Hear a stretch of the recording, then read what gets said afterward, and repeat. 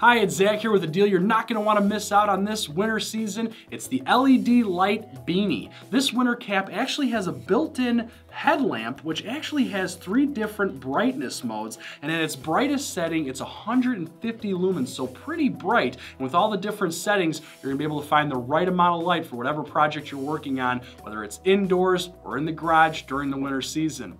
Now, what's great about this is that it leaves you hands-free. You wanna be holding a flashlight, say you break down the side of the road on a wintry day. It's also great for shoveling snow, which we do on a daily basis sometimes during the winter, and this really comes in handy. Now we've seen a lot of these LED beanies out on the market, but a lot of them use regular LEDs. This is actually an SMD, and it's much brighter than a lot of those cheaper ones out there. And the one thing you can't do with those cheaper ones is pop the flashlight out. This is actually rechargeable. You can put this in your wall adapter or your computer to charge it up, and it'll last for over four hours. Then you can just throw the beanie right in the wash so it's easy maintenance as well. Now the other cool thing about this is that it's heather gray and one size fits all so it's literally for everybody out there. I know you're gonna get a lot of use out of this this winter so head on over to the site and grab yours today.